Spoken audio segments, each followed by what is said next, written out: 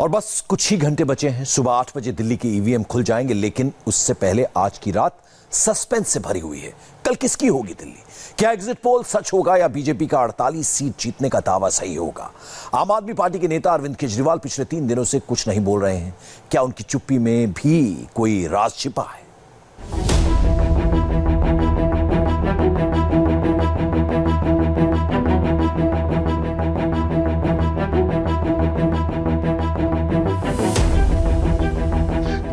होगी दिल्ली किसके सिर सजेगा ताज? किसकी होगी जीत और किसे मिलेगी मान? आज की रात दिल्ली की नींद गायब है। नेता करवटें बदल रहे हैं। सुबह ईवीएम खुलने का इंतज़ार है। महा एग्जिट पोल में केजरीवाल के हाथ में तीसरी बार दिल्ली की चाबी मिलने की भविष्यवाणी की गई। आम आदमी पार्टी को छप्पन सीटें, भारतीय जनता पार्टी को तेरह सीटें और कांग्रेस को एक सीट मिलने का अनुमान है। सुबह आठ बजे जब ईवीएम खुलेंगे तो यही नतीजा रहेगा, या हालात बदल जाएँगे। ये आज दिल्ली का सबसे बड़ा सवाल है। बहुत सोच समझ के हम लोगों ने अपना आकलन किया है और 48 का अपना 48 प्लस का अपना अनुमान है। दिल्ली की जनता खुद से 2015 का रिकॉर्ड 2020 में तोड़ने जा रही है। प्रचंड बहुमत से आम आदमी पार्टी की सरकार बनेगी कितनी सीट आम आदमी पार्टी को आपको लगता है आ रही हैं? बहुत अच्छी सीटें आएँगी। अब नंबर कोई नंबर? कल नंबर देख लीजिएगा। कुछ लोग कह रहे हैं साठ से पैंसठ के बीच कुछ लोग कह रहे हैं पैंतालीस से पचास जो सब- कोई नंबर कोई जो ऐसी बातें कर रहे हैं सबको शुभकामनाएँ। महा एग्जिट पोल में आपका वोट शेयर 2015 में मिले चौवन फ़ीसदी से भी दो परसेंट बढ़कर छप्पन फ़ीसदी हो जाने का अनुमान है, जिससे सीटों का प्रोजेक्शन करेक्ट लग रहा है। केजरीवाल एग्जिट पोल की भविष्यवाणियों से खुश हैं, मगर 48 सीटें जीतने का बीजेपी का दावा आम आदमी पार्टी को बेचैन किए हुए है। क्या उम्मीद है लग रहा है कि जो एग्जिट पोल के जो रुझान दिख रहा है, उससे कुछ अलग आएगा? डबल विक्ट्री दिखा रहे हैं आप? डबल नहीं, ये पाँच पाँच साल है, बीस साल के बाद। देखिए, बहुत अच्छा पॉजिटिव मन है हमारा, और दिल्ली की जनता ने जो जनादेश दिया है, अब वो थोड़ी देर में खुलने वाला है, और हम बड़ी सकारात्मकता से उसका इंतज़ार कर रहे हैं। परिणाम हमारे पक्ष में आएगा, ऐसा हमारा हमारा सर्वे हमारे लोगों से मिलना सब कुछ कहता है। कुछ लोगों ने 12 बजे तक आंकड़ा इकट्ठा किया कुछ लोग कह रहे हैं कि हमने 4 बजे तक किया है। लेकिन 5 और 6 बजे के बीच में 11 से 15 परसेंट तक वोटिंग हुई है। चुनाव मात्र 1 परसेंट दो परसेंट पे पलट जाता है तो यहाँ तो 11 से 15 परसेंट वोटिंग जो है वो चार बजे के बाद हुई है। बीजेपी की सरकार बनेगी दिल्ली के अंदर। केजरीवाल साहब ने जो वायदे किए थे, वो कोई पूरे नहीं किए हैं। रूलिंग पार्टी होते हुए कभी कभी क्या होता है, जब आदमी बाहर से निकलता है, या मीडिया के लोगों को वो टकराया होगा, जो भी कह रहे हैं तो आदमी अपनी मन की व्यथा को बताता नहीं है। तो इसलिए खुल के बोलता नहीं है रूलिंग पार्टी होते वक्त। हरियाणा आपके सामने एग्ज़ाम्पल है। हरियाणा के अंदर आप कांग्रेस की दस सीटें सारे चैनल दे रहे थे, और हरियाणा में कांग्रेस की तीस सीटें आई हैं। तो इसलिए भारतीय जनता पार्टी की दिल्ली में सरकार बनेगी, केजरीवाल ने जो वायदे किए थे पूरा कोई भी नहीं, एक भी वायदा पूरा नहीं किया है। बस कुछ ही घंटे बाद दिल्ली की क्लियर पिक्चर सामने आ जाएगी। उससे पहले सबके जहन में ईवीएम घूम रहे हैं। चुनाव आयोग के सारे ईवीएम दिल्ली के 21 स्ट्रांग रूम में बंद हैं। सत्ता की जो चाबी केजरीवाल तीसरी बार अपने हाथ में लेना चाहते हैं, वो चाबी इन्हीं ईवीएम्स में कैद है। इसलिए दिल्ली में इस वक्त सबसे ज़्यादा सिक्योरिटी इन ईवीएम्स की हो रही है। गोल मार्केट के गर्ल्स स्कूल में बने स्ट्रांग रूम के बाहर कड़ा पहरा है। दिल्ली पुलिस के जवान तैनात हैं। मेन गेट को छोड़कर दूसरे सारे रास्ते सील हैं। मोबाइल फ़ोन पर पाबंदी है। टैब लैपटॉप या किसी भी तरह का इलेक्ट्रॉनिक गैजेट लेकर स्ट्रांग रूम के पास जाना अलाउ नहीं है। सीसीटीवी कैमरे से भी निगरानी रखी जा रही है। जिनकी मॉनिटरिंग रिटर्निंग ऑफिसर और डिस्ट्रिक्ट इलेक्शन ऑफिसर के पास है। इंडिया टीवी के रिपोर्टर महारानी बाग के मीराबाई पॉलिटेक्निक इंस्टीट्यूट में बने स्ट्रांग रूम में पहुँचे तो वहाँ भी सुरक्षा के ऐसे ही इंतज़ाम मिले कि परिंदा पर न मार सके। सुबह जब स्ट्रांग रूम खुलेगा, जब ईवीएम के सील टूटेंगे तो क्या निकलेगा? आम आदमी पार्टी को ऐसा क्यों लग रहा है कि 2020 में उसके पक्ष में 2015 जैसी ही सुनामी है? आप ये बताइए कि क्या आपको लगता है क्या फैक्टर रहेगा अगर आप कह रहे हैं कि सरकार बनाने जा रहे हैं? सिर्फ़ और सिर्फ़ दिल्ली में जो काम किया अरविंद केजरीवाल जी ने बिजली पानी चिकित्सा शिक्षा जो बुनियादी मुद्दों पे काम किया है उसके नाते जनता ने वोट दिया है। लेकिन भारतीय जनता पार्टी भी कह रही है कि उनके नेता भी ट्वीट करे कि संभाल के रख लीजिए ट्वीट हम ही सरकार बना। क्या जाता है? खिसियाहट मिटाने के लिए कुछ ना कुछ तो कहना पड़ेगा। उनकी बात का मैं बुरा नहीं मानता। केजरीवाल की पार्टी के कॉन्फिडेंस को वोटों के गणित से समझिए। हिंदू मुसलमान वोटों का पूरा पूरा गणित केजरीवाल के हक में जा रहा है। दिल्ली के मुस्लिम बहुल इलाकों में बम्पर वोटिंग हुई। दिल्ली के जिन पाँच विधानसभा क्षेत्रों में सबसे ज़्यादा वोटिंग हुई, उनमें से तीन मुस्लिम बहुल सीटें हैं। और एक सीट पर मुसलमान वोटरों की तादाद अच्छी खासी है। इसे चुनाव आयोग के आंकड़ों से समझिए। बल्ली मारान, इकहत्तर दशमलव छह फ़ीसदी। सीलमपुर, इकहत्तर दशमलव दो फ़ीसदी। मुस्तफाबाद, सत्तर दशमलव पाँच फ़ीसदी। मटिया महल, सत्तर दशमलव चार फ़ीसदी।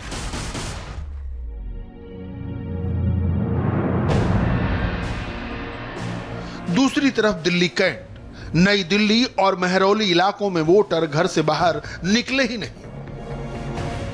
दिल्ली कैंट में सिर्फ़ पैंतालीस दशमलव चार फ़ीसदी वोटिंग हुई। नई दिल्ली में बावन दशमलव एक फ़ीसदी, मेहरौली में छप्पन दशमलव पाँच फ़ीसदी। मुसलमान वोटों के बारे में तो किसी को शक ही नहीं।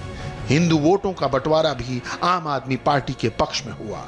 एग्जिट पोल के आंकड़ों पर यकीन करें तो पुरबिया वोटरों में से 55 फ़ीसदी वोट केजरीवाल को मिले और सिर्फ़ 36 फ़ीसदी बीजेपी को। पंजाबी वोटों में 60 फ़ीसदी वोट आम आदमी पार्टी को मिले और बीजेपी को 31 फ़ीसदी। ओबीसी वोटों में चौवन फ़ीसदी वोट केजरीवाल के नाम पर पड़े और बीजेपी के खाते में सिर्फ़ 38 फ़ीसदी वोट गए। सड़सठ फ़ीसदी वाल्मीकि वोटरों ने भी आम आदमी पार्टी पर भरोसा किया। बीजेपी के खाते में सिर्फ़ 18 फ़ीसदी दलित वोट गए।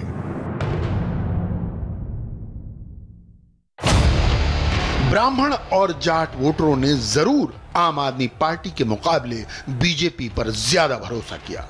वोटों का यही बंटवारा अगर रियल काउंटिंग में हुआ तो केजरीवाल की सीटें छप्पन से सड़सठ की ओर मूव कर सकती हैं। इतने पॉजिटिव सिग्नल्स के बावजूद केजरीवाल 100 फ़ीसदी कंफर्म नहीं हो रहे। आज की रात वो कोई चांस नहीं लेना चाहते। इसलिए आम आदमी पार्टी के कार्यकर्ताओं को जागते रहो का निर्देश दिया गया है। दिल्ली में कुल 21 काउंटिंग सेंटर्स पर वोटों की गिनती होगी। इंडिया टीवी सुबह छह बजे से आपको काउंटिंग की सबसे पक्की खबर दिखाना शुरू करेगा। कुछ ही घंटे में दिल्ली की तस्वीर साफ़ हो जाएगी। लेकिन काउंटिंग से पहले दिल्ली का सियासी पारा चढ़ा हुआ है। सियासत की जो गर्मी चुनाव में चढ़ी थी, वो मतदान के बाद भी नीचे आने का नाम नहीं ले रही। शाहीन बाग के चुनाव में भी आम आदमी पार्टी और बीजेपी के बीच फ्लैश पॉइंट था और अब भी उसकी पोजीशन बनी हुई है। शाहीन बाग को लेकर अब भी वोटरों में कंफ्यूजन है। एग्जिट पोल बता रहे हैं कि दिल्ली के वोटरों ने शाहीन बाग को तवज्जो नहीं दी। बीजेपी को यह बात पच नहीं रही। पार्टी ने जिस मुद्दे पर अपना कैंपेन खड़ा किया, उसे पूरी तरह नकार दिया जाए, ऐसा हो नहीं सकता। कल दिल्ली में भाजपा सरकार बना रही है। ये एक निश्चित बात है, क्योंकि ज़मीन पर जो लोग थे, चाहे वो रिपोर्टर हों, या पत्रकार हों, या पार्टियों के कार्यकर्ता हों, या जनता, जो वोट डालने के लिए निकली थी, सबको ये बात निश्चित है कि कल भाजपा सरकार बनाने जा रही है। आम आदमी पार्टी चुनाव आयोग पर सवाल उठा रही है ईवीएम पर सवाल उठा रही है। अभी तो रिज़ल्ट आए भी नहीं है, और अभी से जिस प्रकार का विलाप किया जा रहा है, मेरे को लगता है ये भी बता रहा है कि शायद केजरीवाल जी और उनके लोगों को एहसास हो चुका है कि कल ज़मीन पर जनता ने क्या जनादेश दिया है। और मुझे लगता है कल दिल्ली में एक नया इतिहास लिखा जाएगा निश्चित लिखा जाएगा। पहले अनुमान था कि चुनाव में वोटिंग होते ही शाहीन बाग का धरना खत्म हो जाएगा लेकिन धरना जारी है सड़क भी बंद है। कैसे मारेंगे? हम मुसलमान हैं हम इस देश के रहने वाले हैं हमको कैसे मार सकते हैं? अभी वो देखेंगे अभी अभी हमारी भी प्रॉब्लम है ना। अब लोगों को जैसे प्रॉब्लम हो रही है हमारी प्रॉब्लम है।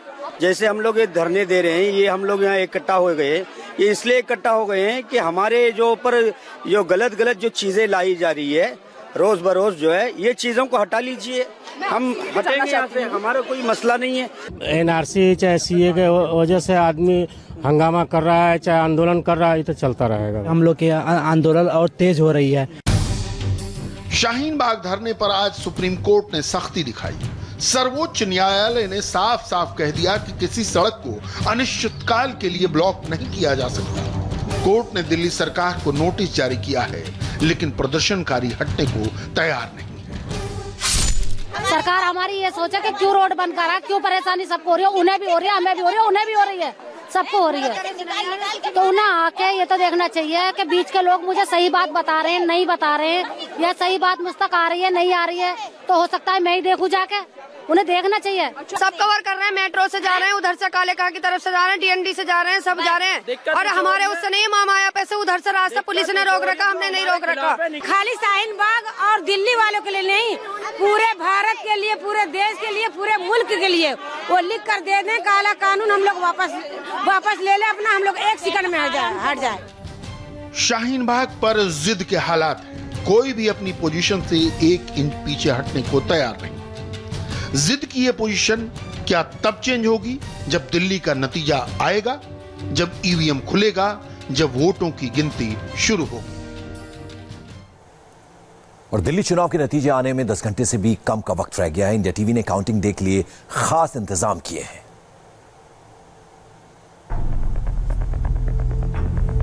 हमारे तमाम रिपोर्टर्स दिल्ली के सत्तर काउंटिंग सेंटर्स पर आपको पल पल का अपडेट देंगे। तो देखना ना भूलें, कल सुबह छह बजे से दिल्ली के नतीजे लगातार।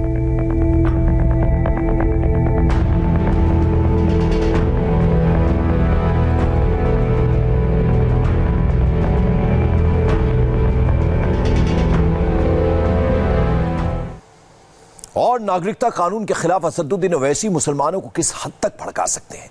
यह समझने के लिए आपको आंध्र प्रदेश के कर्नूल में दिए भड़काऊ भाईजान के भाषण को ज़रूर सुनना चाहिए। इस स्पीच में ओवैसी ने मुसलमानों से सीधे सीधे कहा कि सीना दिखाओ, गोली खाओ, लेकिन कागज़ मांगे तो हर हाल में न दिखाओ।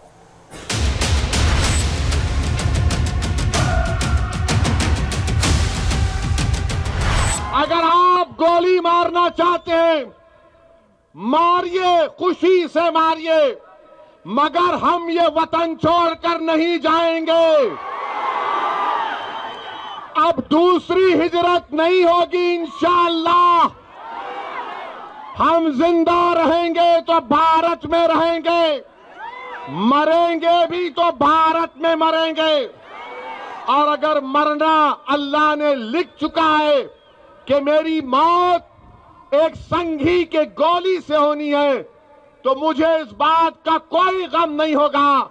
मगर जब तक ज़िंदा रहेंगे मोदी, अमित शाह तुमसे जमहूरी तरीके से मुकाबला करेंगे। अपने हक के लिए लड़ेंगे, इस मुल्क के लिए लड़ेंगे, भारत के संविधान को बचाने के लिए लड़ेंगे। हम मुकाबला करेंगे इसलिए कि हम हमारे बुज़ुर्गों की रूहों को शर्मिंदा होने नहीं देंगे। ये हैदराबाद वाले असदुद्दीन ओवैसी हैं। रजाकारों की वसीयत से वास्ता है जिन्ना की विरासत से वास्ता है। लेकिन आज जनाब हिंदुस्तान के संविधान का वास्ता देते हैं। अमित शाह और पीएम मोदी से जमहूरी तरीके से भिड़ने के सदके देते हैं। भड़काऊ भाईजान मुखालफत की सियासत करते थे, अब सीने पर गोली मारो से लेकर बुज़ुर्गों की रूह तक पहुँच गए। क्या क्या कर सकते हैं आप, करो। मगर मैं अब वतन में रहूँगा। कागज़ नहीं दिखाऊँगा।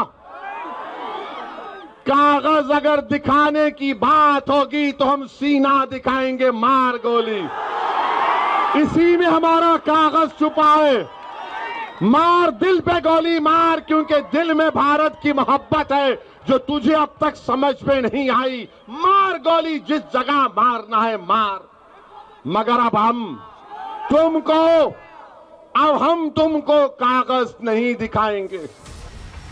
ओवैसी के पास नफरती बारूद बोने की सिर्फ़ बंदूक नहीं, बल्कि ओवैसी हर उस हथियार का इस्तेमाल करते हैं जिससे उन्हें सियासी फ़ायदा हो।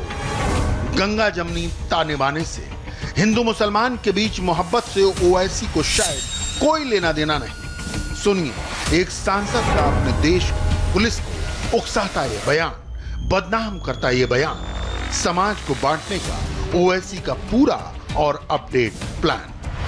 उस शख्स के सर के ऊपर टोपी होती, अगर उसके सर पर टोपी होती तो खुदा की कसम दिल्ली की पुलिस एक नहीं, बीस गोलियाँ उसके जिसम में मार देती। अगर उसके चेहरे पर दाढ़ी होती तो गोलियाँ मार दी जाती। अगर उसके जिसम पर शलवार कमीज होता, कुर्ता पैजामा होता तो महज शुबे के नाम पर गोली चला दी जाती, मगर यहाँ पर गोली नहीं चलाई गई, बल्कि गोली मारो उसके पैगाम पर अमल करने के लिए गोली चलाता है। ओवैसी मार्का सियासत में प्लानिंग सिर्फ़ सत्ता की ख्वाहिश में नहीं है। बल्कि उसके समानांतर देश में नफरत की एक ऐसी खाई खोदने की कोशिश है जो कभी भर न पाए। यही खाई ओवैसी की राजनीति का खाद पानी है। नागरिकता संशोधन कानून के खिलाफ नगरी नगरी घूमकर मुसलमानों के बीच मुखालफत के बीन बजाने वाले ओवैसी अब तक शाहीन बाग के खातन की खिदमत में कसीदे पढ़ते थे। अब उन्होंने मुस्लिम मर्दों को भड़काने की कोशिश की है। नया नारा देकर मर्दे मुजाहिद। इसका मतलब क्या होता है? ओएसी से खुद सुनिए। जो एनपीआर और एनआरसी के खिलाफ आवाज़ उठाएगा, वो सही मानों में नेताजी सुभाष चंद्र बोस का मानने वाला होगा। जो नरेंद्र मोदी और अमित शाह के खिलाफ आवाज़ उठाएगा, वो सही मानों में एक मर्द मुजाहिद कहलाएगा। जो नरेंद्र मोदी और अमित शाह के खिलाफ जो नरेंद्र मोदी और अमित शाह के इस काले कानून के खिलाफ आवाज़ उठाएगा, वो यकीनन हम उन हमारी मार बहनों को सलाम करते हैं, जो रजिया सुल्तान की उस कुर्बानी को याद दिलाते हैं, वो उनकी कुर्बानियों को याद दिलाते हैं। जी, नेताजी सुभाष चंद्र बोस का भी सहारा और मजहबी नारा लगाकर मुस्लिम युवकों को भड़काने का इरादा। ओवैसी दोनों साथ साथ करते हैं, तिरंगा भी उठाते हैं, सांप्रदायिक सौहार्द के खिलाफ लाउड स्पीकर भी बजाते हैं। जमहूरियत नहीं, डर ओवैसी के सियासत की चार मीनार है। ओवैसी के सियासी इक्वेशन के मुताबिक मुसलमान जितने नाराज़ होंगे, ओवैसी के करीब होंगे। हालाँकि ओवैसी की यह गफलत बार बार दूर होती है, लेकिन सी के नाम पर, नफरत के काम पर ओवैसी मुसलसल लगे हैं। अगर आज ये लड़ाई में हम नाकाम हो जाएँगे तो याद रखिए, भारत एक हिंदू राष्ट्र बन जाएगा। और बीजेपी, आरएसएस यही चाहती है कि भारत को एक हिंदू राष्ट्र बना दिया जाए। याद रखिए, अगर इस मुल्क की पहचान एक मज़हब से, एक आइडियोलॉजी से होगी, हिंदुत्व की आइडियोलॉजी से इस मज़हब की शनाख्त अगर हो जाएगी तो फिर इस मज़हब में इस मुल्क में दीगर मजाहिब को मानने वाले दूसरे दर्जे के शहरी बन जाएँगे। उनको सेकंड क्लास सिटीजन बना दिया जाएगा। इसीलिए ये लड़ाई मुल्क के मुस्तकबिल को बचाने की लड़ाई है। मतलब मुल्क का मुसलमान रातों रात परदेसी हो जाएगा। स्वार्थ की सियासत की ये चरम पराकाष्ठा नहीं तो क्या है? बैरिस्टर हैं असदुद्दीन ओवैसी। फिर भी दलील देते देते फैक्ट फाइंडिंग वाली उनकी मशीन खराब हो जाती है। 2014 के बाद किसी को यह कानून नागरिकता नहीं देगा। मुसलमानों से उनकी नागरिकता कैसे बाकायदा प्लान बनाकर छीनी जाएगी? ओवैसी को इसके मास्टर प्लान का जैसे पूरा पता चल गया है। सेक्शन ऑफिसर ऑफ़िस में बैठकर लिखेगा कि मंसूर बादशाह डाउटफुल सिटीजन है। अब आप मुझे बताइए कि अगर कोई डाउटफुल सिटीजन लिखता है, उसका पैरामीटर क्या है, क्या बता? कुछ नहीं। अगर उन्होंने अपनी अम्मा से लड़के आए, अपनी जोरू से लड़के आए, उनका गुस्सा मंसूर बादशाह पे निकालेंगे। लिख देंगे डाउटफुल सिटीजन और उसके बाद इनको बताना पड़ेगा कि तुम भारत के शहरी हो या नहीं हो। असदुद्दीन ओवैसी संसद से पारित कानून को संसद के पटल पर कहीं बातों की अपनी स्क्रिप्ट तैयार करते हैं, उसी पर्चे को पढ़ते हैं, जिसका सिर्फ़ और सिर्फ़ मकसद होता है शुद्ध सियासत। यकीन नहीं होता तो सुनिए, शब्दों को तोड़ मरोड़ कर पेश करने के उस्ताद असदुद्दीन ओवैसी को। दिल्ली के रामलीला ग्राउंड में वज़ीर आज़म ने खड़े होकर कहा कि अभी एनआरसी नहीं आएगा अभी एनआरसी नहीं है। पार्लियामेंट में एक सवाल का जवाब देते हुए मोदी की हुकूमत ने कहा कि टिल नाउ, अंग्रेज़ी का लफ्ज इस्तेमाल हुआ, टिल नाउ, यानी अब तक कोई एनआरसी का नहीं है। मैं आपको ज़िम्मेदारी के साथ कह रहा हूँ, आज से तीन, ढाई महीने, डेढ़ महीना पहले, जब पार्लियामेंट के सेशन में सी डबल ए का कानून बन रहा था। मैंने अमित शाह से पूछा था हमारे वज़ीर दाखिला से कि क्या एनआरसी आएगा, नहीं आएगा। तो वज़ीर दाखिला अमित शाह ने खड़े होकर मेरा नाम लेकर कहा कि ओवैसी जी एनआरसी आएगा। वज़ीर आज़म, बताइए, आप सच कह रहे हैं या अमित शाह झूठ बोल रहे हैं? राजनीति की चक्की में किसका सच और किसका झूठ कौन पीस रहा है? ये पब्लिक है, सब जानती है। मुद्दों का चैंपियन बनने के फिराक में ओवैसी आफ्टर सीए और क्यों एक्टिव है? ये पूरा देश जानता है। क्योंकि ओवैसी के लिए पीएम मोदी का फ्रंटियर गांधी का पैर छूना भी राजनीति का हिस्सा है, जिसकी ओवैसी तस्वीर के नाम पर सबूत मांगते हैं। और वज़ीर आज़म ने यह भी कह दिया कि मुझे फ्रंटियर गांधी के पैर छूने का भी मौका मिला। वज़ीर आज़म उसकी कोई फ़ोटो है तो दिखाइए ना। आप फ्रंटियर गांधी के अगर पैर छुए तो जरा फ़ोटो तो दिखा दो। मैं इसलिए पूछ रहा हूँ, क्योंकि मुझे यकीन है कि जब मैं ये कहता हूँ तो जो मीडिया के लोग नरेंद्र मोदी को दिल से ज़्यादा, अपने माँ बाप से ज़्यादा चाहते हैं, उनको बड़ी तकलीफ़ होगी कि देखो वैसी नरेंद्र मोदी से कह रहा है कि फ्रंटियर गांधी के अगर पैर छुए तो उसकी फ़ोटो दिखाओ। मैं इसलिए कह रहा हूँ कि 400 साल के बाद तुम करनूल में आकर मुझसे पूछोगे, कागज़ दिखाओ। तुम 400 साल के बाद तुम यहाँ पर आकर मुझसे पूछेगे, बताओ, भारत की शहरियत साबित करो। जब नरेंद्र मोदी के पास खान अब्दुल गफ्फार खान के पैर छूने की फ़ोटो नहीं बता सकते तो किस बुनियाद पर करनूल की आवाम से तुम आकर पूछोगे कि कागज़ दिखाओ? हम नहीं दिखाएँगे कागज़। हम नहीं दिखाएँगे कागज़। हम कुछ भी नहीं दिखाएँगे। खुद कागज़ नहीं दिखाएँगे। और दूसरी ओर प्रधानमंत्री नरेंद्र मोदी से पैर छूने वाली तस्वीर की डिमांड करेंगे। असदुद्दीन ओवैसी की सियासत से कौन अनजान है? आप भली भांति जानते हैं। पेट्रोल के अवैध गोडाउन में कहाँ लगी है भयंकर आग? हैरान कर देने वाली तस्वीरें आपको दिखाएँगे। छोटे से ब्रेक के बाद।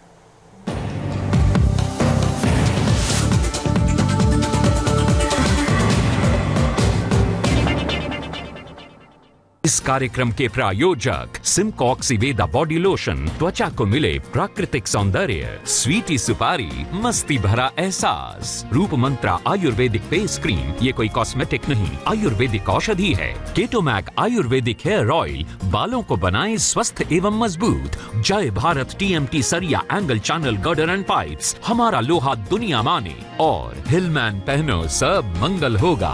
पहनो हिलमैन अंडरवेयर बनियान प्रमोशन में आरक्षण पर क्या बड़ी खबर आई? शाहीन बाग पर सुप्रीम कोर्ट ने क्या कहा? क्या ओवैसी अब मंदिर बनवाएँगे? देखिए आज की बात रजत शर्मा के साथ रात नौ बजे। भाई साहब एक अंडरवेयर और बनियान देना। कौन सा दो बहन जी? वही जिसके साथ मिलता है डबल बॉक्स सेट बिल्कुल free Lux Cozi Lux Cozi के कोई भी दो पीस खरीदने में मिलेगा एक डबल बॉक्स सेट बिल्कुल फ्री लक्स कोजी सुनो। तो अपने दिल की हाजमोला चटपटी आजकल हाजमोला हींग के चर्चे हर जबान पर। सबको मालूम है और सबको खबर हो गई। सबको मालूम है और सबको आज बोला चटपटी ही खाना बचाओ ding dong ding.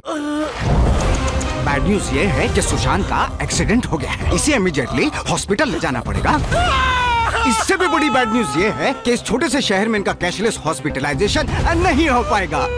और गुड न्यूज़ ये है कि अपोलो म्यूनिक के हेल्थ इंश्योरेंस एक्सपर्टीज और एचडीएफसी का ट्रस्ट मिलकर बन गए हैं। H D F C Ergo health इससे मुझे क्या मिलेगा? 650 शहरों में दस हज़ार ऐसी भी ज़्यादा हॉस्पिटल्स में कैशलेस हॉस्पिटलाइजेशन की फैसिलिटी इस छोटे से शहर में भी। गुड न्यूज़ सुनकर Sushant is feeling better Apollo Munich अब बन गया है H D F C Ergo health India is now feeling better देश का क्या कहना? तलाश टेस्ट की सबको है। दीवाने हैं सारे। बस टेस्ट मिल जाए। यही ख्वाहिश है हमारी। टेस्ट में बेस्ट मम्मी और एवरेस्ट। पेश है टीवीएस यूरो ग्रिप। इसमें है सील टेक्नोलॉजी जो हवा को बनाए रखे बेहतर। TVS euro grip the bike tyre specialist. ज़िंदगी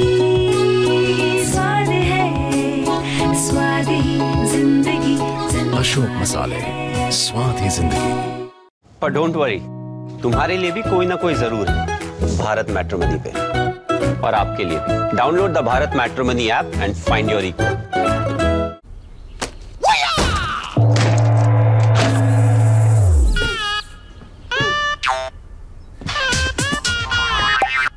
fighter है? नहीं टाइटर है।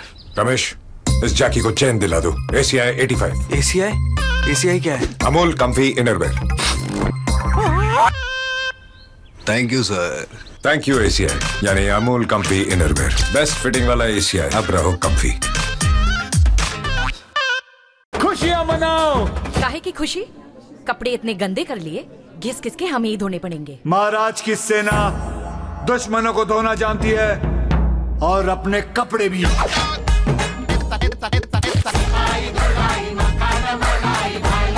निर्मा एडवांस के माइक्रो बस्टर्स दाग इतनी आसानी से मिटाएँ कपड़े डांस डांस में ही साफ़ हो जाए। निर्मा एडवांस घटिया लाल मिर्ची पाउडर में मिलाया जाता है हानिकारक लाल रंग पर एवरेस्ट तीखा लाल होता है कुदरती लाल।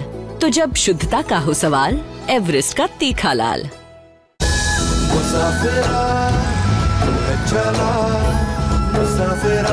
छोटे छोटे लम्हों का अनोखा सफ़र, कमला पसंद, अनोखा स्वाद। लाइफ में मुश्किल दिनों के दर्द, उनका असमय होना, चिड़चिड़ापन, थकान, कमज़ोरी, व खून की कमी जैसे तकलीफें होती हैं। अपनाएँ इंडिया की नंबर वन औषधि वटॉनिक Hem Pushpa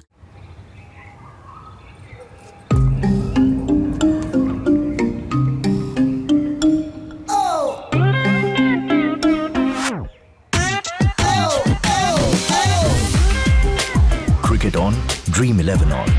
India versus New Zealand. Make your team now. MDH kitchen king मसाले को किंग क्यों कहते हैं? अगर एमडीएच का किचन किंग किचन में हो तो हम सब कुछ बना सकते हैं। बैंगन का भरता आलू गोभी भिंडी मसाला मिक्स वेजिटेबल मटर पनीर और भी बहुत कुछ। ये तो मैजिक है। बहुत बढ़िया। लाइक मैजिक सेसा आयुर्वेद की प्राचीन क्षीर पाक विधि से बना जो बालों की सभी समस्याओं का संपूर्ण समाधान है। आपके बालों का डॉक्टर सेसा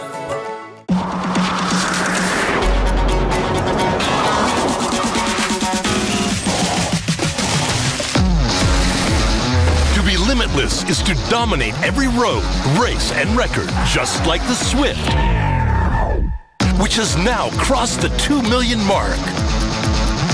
हल्दी बहुत गुणकारी है। जब हल्दी हो 100% शुद्ध। घटिया हल्दी मिलावटी होती है। एवरेस्ट हल्दी बनती है कर्क्यूमिन से भरपूर बढ़िया हल्दी से जिसके गुण है 100% कुदरती। एवरेस्ट हल्दी हेल्दी हल्दी। गुड न्यूज़ है बैड न्यूज़ पहले क्या सुनोगी? Good news ICICI prudential life claims सिर्फ़ एक ही दिन में सेटल कर देता है। वाओ दैट्स इंटरेस्टिंग और बैड न्यूज़ मैंने जिम ज्वाइन कर लिया है तो वो पैसे अब तुम्हें तो मिलने से गए। अच्छा sorry sorry sorry I forgot इस बारे में no jokes I am really sorry मैं ज़फ़र सरेश वाला इस बार जो दिल्ली का जो इलेक्शन हुआ उसमें मुझे मुसलमानों का किस तरफ़ रुझान रहा? बहुत करीब से देखने का मौका मिला। वो क्या रंग लाएगा? किस तरह से जाएगा? क्या नतज आएँगे ये आप देखना न भूलिएगा। इलेक्शन का जो काउंटिंग दिन है, काउंटिंग डे, मंगल के दिन 11 तारीख को सुबह 6 बजे से, इंडिया टीवी पर। को प्रेजेंटेड बाय स्टील से बनी अपोलो चौखट एवर यूथ सोने सा निखार सिर्फ़ 15 मिनट में। Powered by Asian Paints Ultima protect lamination वाला एक्सटीरियर पेंट को powered by Apollo tyres go the distance जहाँ जाए, रिश्ते बनाए गोल्डी मसाले associate sponsor TVS euro grip the bike tyre specialist और मोबाइल प्रीमियर लीग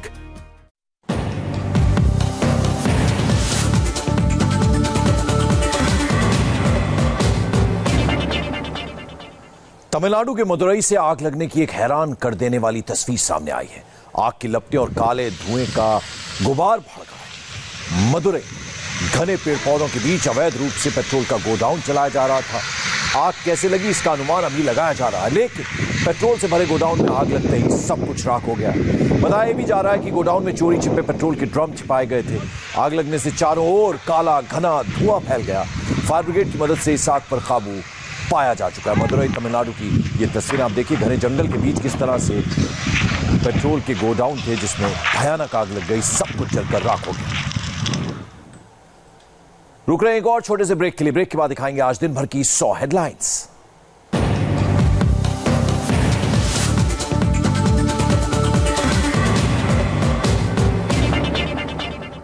मज़ा आता है जब लाइफ में मिले